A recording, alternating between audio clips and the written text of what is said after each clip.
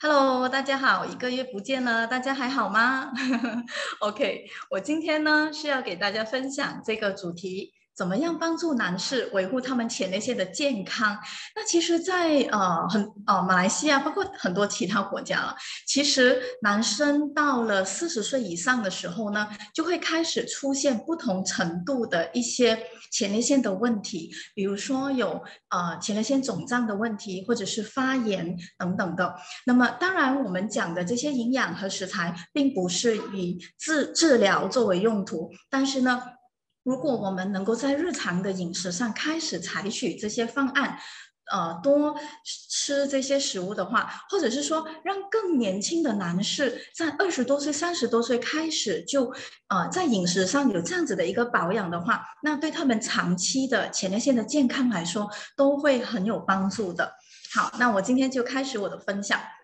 首先，我给大家再复习一下，就是完整和均衡的健康餐盘应该是怎么样的。OK，那如果是老朋友的话，应你应该要可以记起来喽。如果是新朋友的话，我们一起来啊学习一下。OK，那。如果我们把我们每天吃到的所有各种各样的食材，从早餐到晚餐到呃两顿饭之间之间的那些小吃，全部都一天所吃到的东西，都放在一个很大的餐盘的时候呢，我们能不能够把它把这些食材归成四大类？第一类呢，就是蛋白质来源，那它应该占我们健康餐盘的四分之一。那它可以是动物来源的蛋白质，像肉类、鸡蛋、奶制品这些；那它也可以是植物来源的蛋白质，比如说像豆类、坚果等等的，还有就是豆制品。OK，那第二个部分呢，就是谷类，也就是我们的主食了。那主食的话呢？其实它还可以很丰富的，呃，当中还有很多很多呃营养啊的来源等等的，而且其实也可以很容易消化。这这个是啊大餐盘的第二个部分。那大餐盘的另外一半呢，其实就是蔬菜和水果啦。那蔬菜和水果呢，还要讲究一个东西，就是蔬菜的分量要多于水果的分量。你可以不吃水果，但是你不能不吃蔬菜。OK，好，那这个就是呃完整均衡大餐盘。那在这个前提之下呢，诶，我们来今天来看一下，嗯，有哪些食材、哪些营养素对男生的前列腺健康是非常有帮助的。OK，首先呢，如果我们要预防炎症，或者是就是提早老化、提前老化的这些问题，我们一定要记得抗氧化剂丰富的食物是我们每天一定要吃到的。那第一个呢，我认为最重要的就是呃含丰富抗呃抗氧化剂来源的食物。刚才就提到说，呃主要是来自植物的。蔬菜水果类的，但是呢，它们的颜色很丰富，那呃种类也很多，有果实类的，有根茎类的，有叶片类的等等。只要是植物来源的这些食材呢，都是很好的抗氧化剂的来源。所以呢，为什么我们一直强调这些食物呢，必须占我们大餐盘的一半？吼，OK，希望大家可以记起来。好，那我们继续。针对前列腺健康的话呢，其实还有一种特别的抗氧化剂，因为其实抗氧化剂有好多，那当中有一种呢，它被研究发现哦，对男生的前列腺健康非常的有帮助，那就是茄红素。那茄红素呢，其实它是来自于带有一些偏红色或者是粉红色的食材，比如说番茄。呃，葡萄柚 （grapefruit），还有就是这个呃西瓜这些，呃，另外呢还有嗯那个木瓜，还有呃那种我们说的呃甜椒，就是红的黄的甜椒。其实现在很接近中秋嘛，那我们中秋就爱吃柚子，对吗？那其实如果你买到的柚子是有一点偏粉红色的话呢，它其实也有这个茄红素在里面的。OK，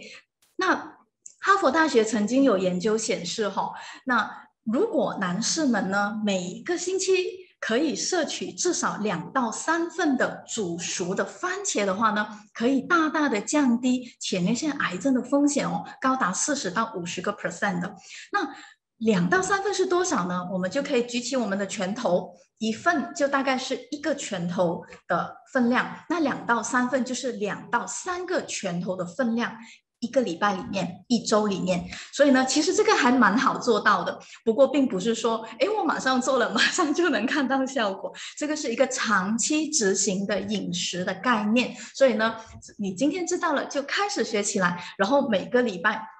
如果可以吃到两到三份煮熟的番茄的话，那长期的话，对我们啊前列腺的健康就有很大的帮助了。然后这里还有一个重点，就是煮熟。OK，那我们知道番茄生吃的话，我们可以拿到维生素 C 哈，但是呢，煮熟的番茄其实维生素 C 就啊没有。呃，就是说已经大量的流失了。不过呢，它有另外一个好处，就是我们吸收茄红素的那个机会可以很最大化，可以大大增加。所以番茄我们生吃有生吃的好，熟吃煮熟的时候也有煮熟的呃吃的时候的好。所以呢，我们就可以再把烹饪方法也可以多样化一下。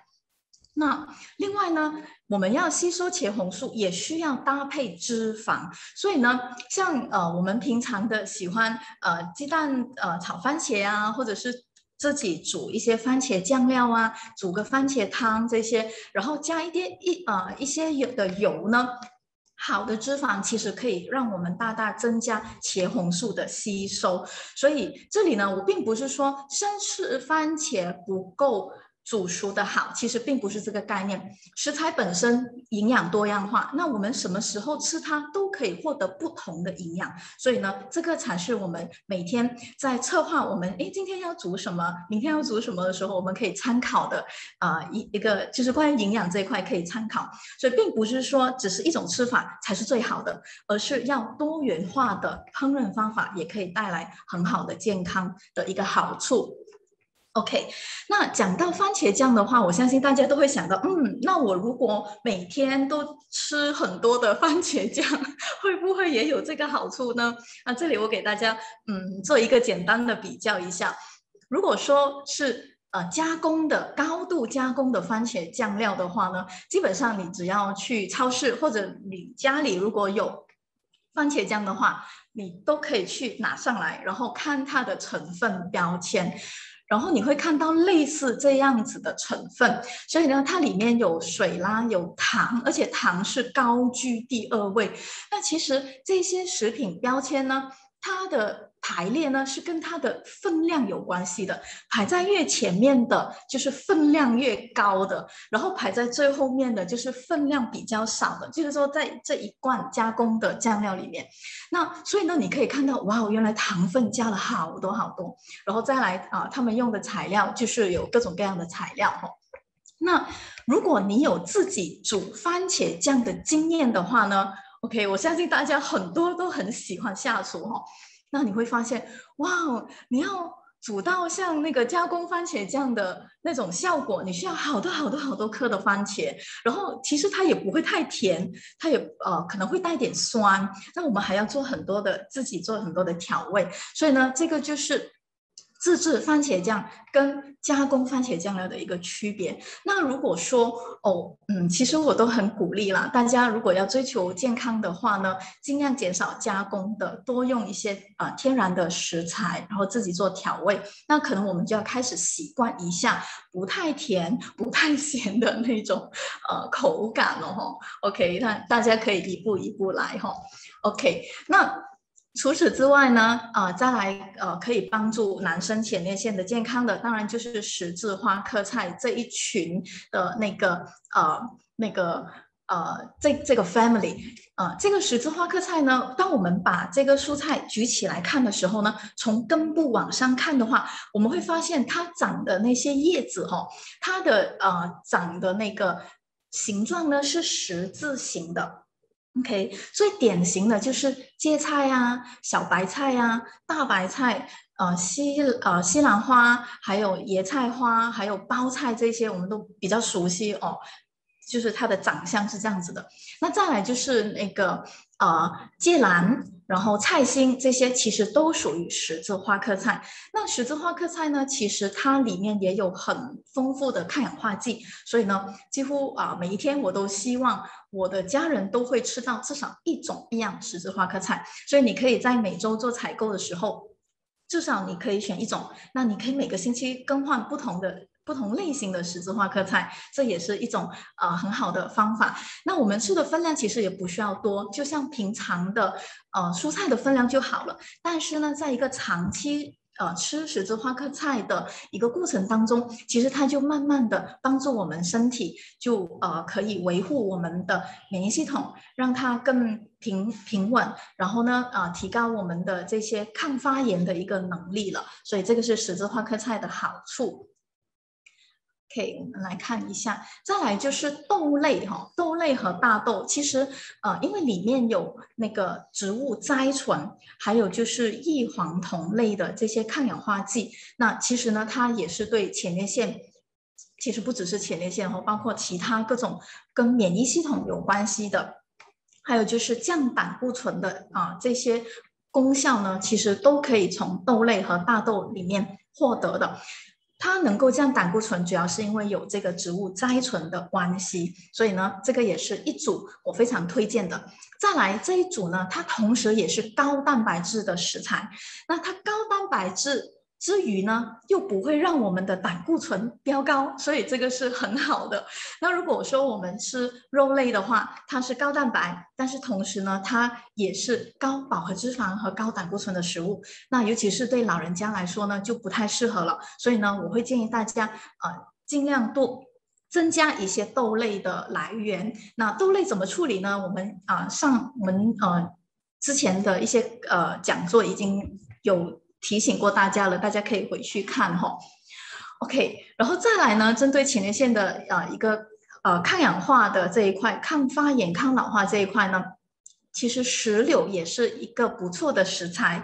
嗯，它的价钱可能会比较贵，如果大家有机会哎看到的话，呃，其实可以买来喝或者是买来吃啊。那如果说呃。不选择它，其实还有很多其他的食材。不过主要是因为石榴呢，在呃研究上有有一些呃，就是研究证实说它可以帮助缓解前列腺发炎的这些问题的，而且它对我们的呃那个尿道，就是肾脏的一个保养也是蛮好的，所以这个也是可以考虑的食材。那再来呢，就是 omega 三。大家要记得，omega 三呢，当我们把它吃进身体的时候呢，它直接在身体里面就有一个抗发炎的效果。所以呢，像核桃啊、呃 chia seed 这些，还有亚麻籽、蛋黄里面，其实也有一些 omega 三脂肪酸。再来就是深海鱼这一种。那这些呢，也希望呃，就是说每一天都可以有。呃，至少一两种可以获得 omega 三的食材，比如说像 c h a s i 的话，我就很鼓励大家，呃，每一天如果可以的话，都吃到一到两汤匙的 c h a s i 就蛮好了。但是 c h a s i 的话，因为它有很丰富的那个呃水溶性纤维，所以一定要浸泡，让它发起来啊，软软的这样子，这个时候我们才去吃它，就有最好的一个效果。OK，还有呢，就是各种各样的生坚果。那每天一把的分量，就是我们手掌心一把的分量，可以是综合的坚果，或者是啊，你可以今天吃核桃，明天吃杏仁，这样子来啊轮流都 OK。那综合来说呢，其实坚果是很好的植物甾醇的来源，也就是降胆固醇的，同时也是维生素 E 的来源。那维生素 E 呢，对不管男生也好，女生也好，对我们维护我们。的生殖系统的健康都是非常重要的，所以维生素 E 也是一个对前列腺很呃保养方面很有帮助的一种营养素。那这里我就提到生坚果，那可能大家还不太了解到底什么是生坚果。其实生坚果呢，它并不是说它完全是生的，而是它的加工的程度比。比呃另外的一些就是烤过啊、烘焙过的坚果来的低，所以你会发现，啊，当你看到包装上写着生坚果的时候，它并不是说完全没有加工，只是加工程度很低。那其实我们是可以直接吃它的。那它的颜色呢就会比较淡的，因为它没有被高温的烤过。那相比之下呢，在右手边这张照片，大家就会看到这个就是烤过的那个腰果了。那啊，右边这一块呢，是我比较呃不太鼓励的，OK，啊，因为经过一个高温的处理，那其实啊，我这里再给大家举另外一个例子，比如说那个澳洲坚果 Macadamia，我相信啊。如果你尝过的话，你都会觉得它很好吃，它的价位也比较高，但是它的营养非常丰富，它里面的脂肪非常的好。那同样的，当我们在吃这个澳洲坚果的时候，我们也会发现，一般在市面上能够找到的，就是已经加工的、右边的，会带点咸味的，OK，这种坚果。那你有没有发现，如果你吃的是这种加工过的、调过味的、带咸味的，或者是烤到香香的坚果，你会发现哇，不知不觉当中，你就会把可能一一包可能自己一个人都可以消灭一半，甚至是消灭完了。OK，那其实呢，主要是呃，我这个是我的经验哈。因为里面的调味的里面的味精，它其实蒙骗了我们的味觉，它让我们很想一直去不断的吃这个东西。但是如果你试一下吃生坚果的话呢，就是左边的比较浅色的坚果的话呢，不只是这两类哦，包括和呃杏仁啊、核桃其他的都一样，你会发现，你要是吃到了一把，你就真的开始觉得饱了。然后你会自然而然的不想吃了，就觉得哎呀好饱哦，你就会停下。所以其实本来的坚果呢，在没有经过一个很高度加工的情况底下呢，它的饱足感是很强的。它让我们只要吃那么一把或者两汤匙，就会觉得很撑了，然后你自然就会停下不吃，因为它里面的脂肪含量非常高，而且这些脂肪都是好的脂肪，那我们就自然会有饱足感的。但是呢？如果我们吃的是加工的坚果，你会发现，哎，为什么没有饱足感，反而会让我们一直吃个不停？然后，呃，等你吃完了，你才会发现，哎呀，我吃多了，然后，哎呀，喉咙痛了，干干了这样子。所以呢，呃，这个就是因为那个味精，它会蒙骗我们的味蕾，让我们觉得好像很想一直在吃，然后就让我们没有饱足感的一个一个情况哈。好，这里大家如果下一次再吃坚果的话，可以。呃，仔细一下观察自己的一个感受哈，嗯，这样子就可以多认识一些食材，也多认识一些我们身体对于食材的这种这种反应哈。OK，好，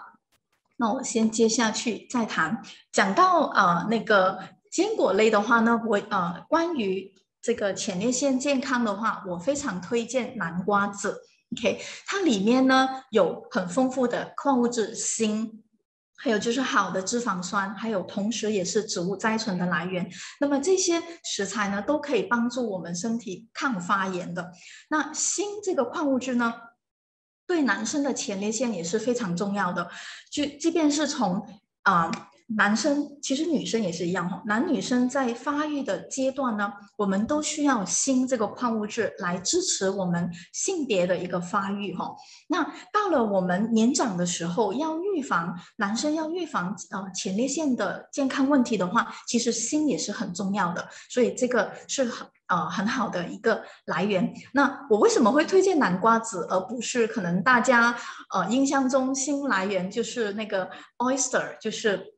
好，OK，生蚝，比如比如说啊，因为蚌壳类的这些海鲜呢，它的胆固醇很高，其实不适合年长者。那我们其实就可以从植物来源的，呃，像南瓜子这些食材获得。同时呢，它里面有植物甾醇，然后刚才我说过，植物甾醇其实是降胆固醇的，所以呢，这些食材会更适合我们。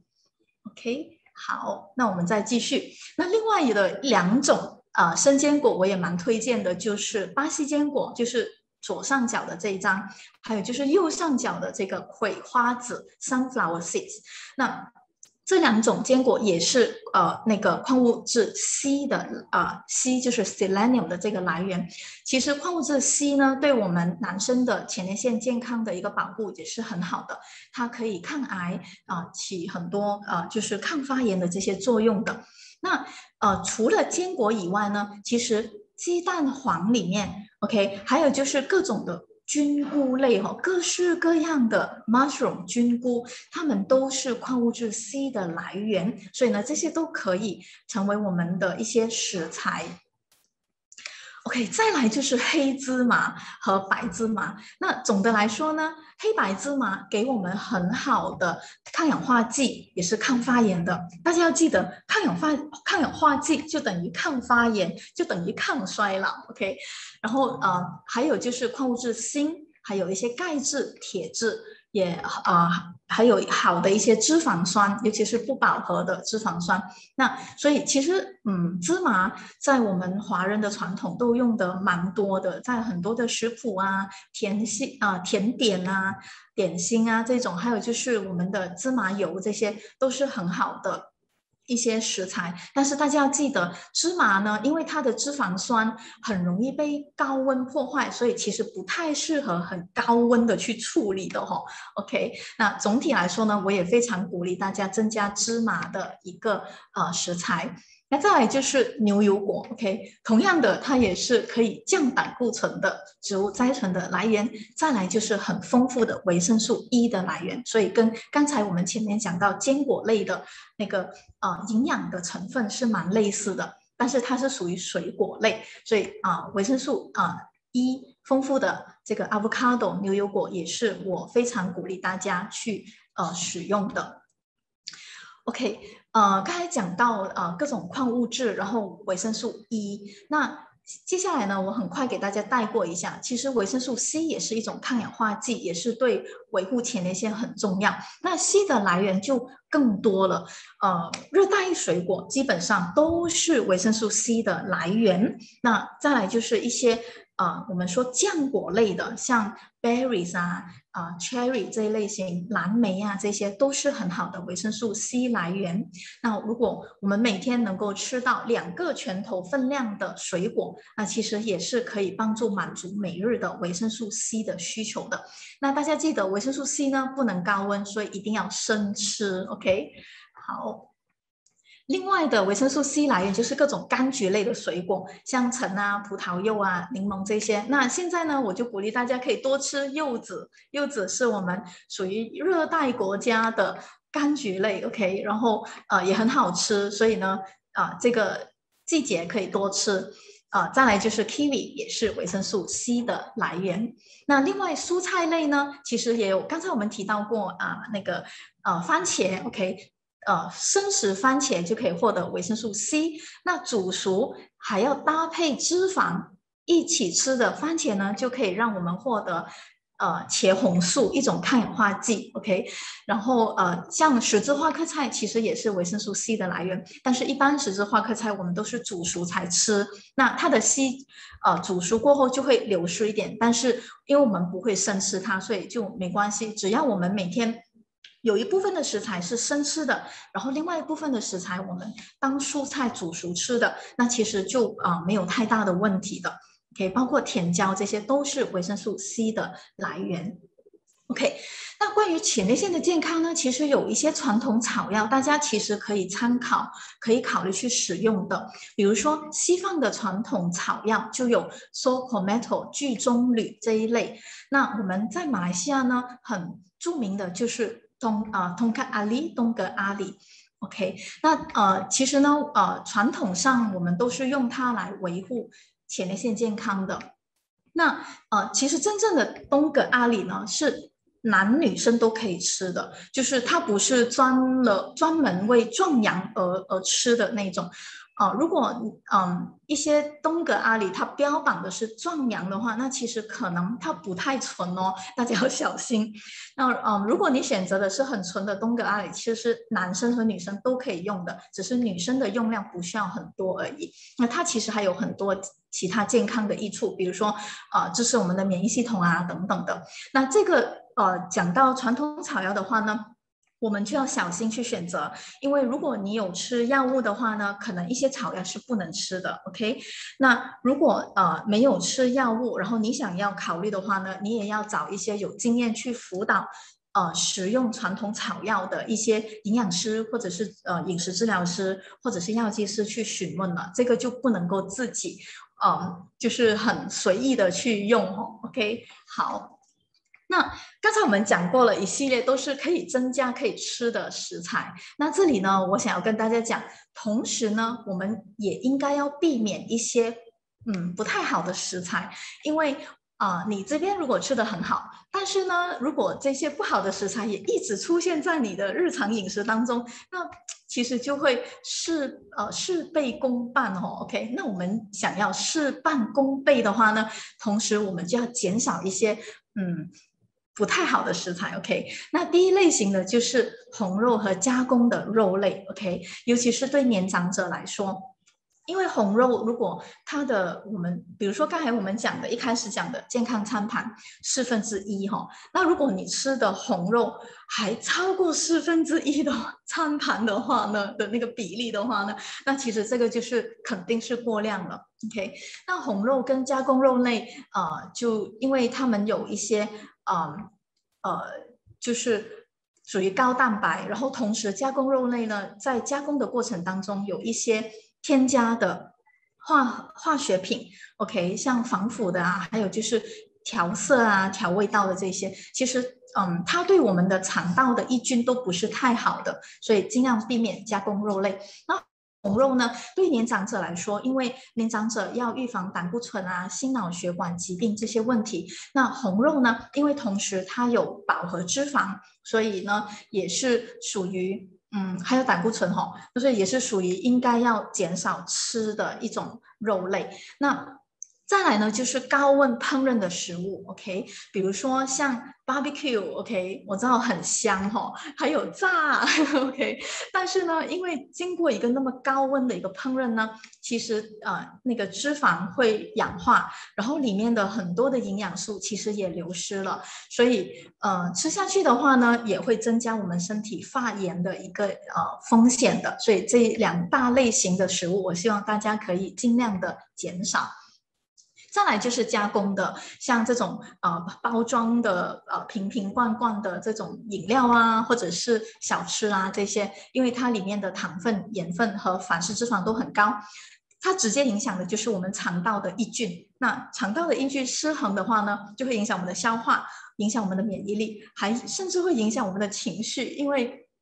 益菌在肠道里面呢，它会分解一些脂肪，让我们更好的吸收这些脂肪。吸收过后呢，其实对我们的脑维护大脑的功能，比如说记忆力有没有衰退呀，情绪有没有平衡啊，呃，反应有没有快速啊，其实都有关系的哦。所以，如果我们如果能够养好我们肠道的呃。那个抑菌的话呢，那我们的头脑也会比较灵敏哈，所以呢，呃，因为这个原因，我也呃建议大家尽量少吃这些加工类型的食物。呃，同样的就是饮料类也是啊，因为饮料呢，加工的饮料它很多都有含这个碳酸，那碳酸会增加我们矿物质的一个流失。刚才我们前面提到的那些矿物质，其实对身体呃的健康很重要。包括维护前列腺的健康，但是如果我们又习惯的去喝这些呃软饮料的话呢，其实它会造成矿物质的流失会更多，所以这个也是要注意的。呃，另外呢就是酒精，OK，酒精和香烟就是大家呃肯定随着年龄的增长，真的是要把它慢慢减下来，甚至是啊最好是。避免哈，那再来就一个就是奶制品。那奶制品本身呢，它其实是很蛮好的那个呃蛋蛋白质的一个来源，还有钙质来源。但是呢，奶制品同时也是高脂肪。的一个呃，还有高胆固醇的一个食材，所以呢，呃，如果你没有喝奶制品的习惯的话呢，你其实不需要太刻意去增加，OK？因为从其他的食材，只要做好完整均衡，你还是可以获得这些营养素的，或者你可以可能每天一杯这样子的分量，但是如果呃每天都喝到很多的。呃，奶奶或者是吃到很多的奶制品的话呢，其实因为它是高饱和脂肪酸，还有就是高胆固醇，所以对年长者的一个整体健康的维护也不是太好，也会增加一些炎症的发生。所以这一块呢，如果说已经有前列腺问题的男士呢，啊，我是鼓励说尽量减少牛奶的或者是其他的奶制品。OK，好。那我今天关于这个男士前列腺健康的分享就到这里。这个是我脸书的网页，大家如果对其他的课题有兴趣，也可以上去看我的视频哈。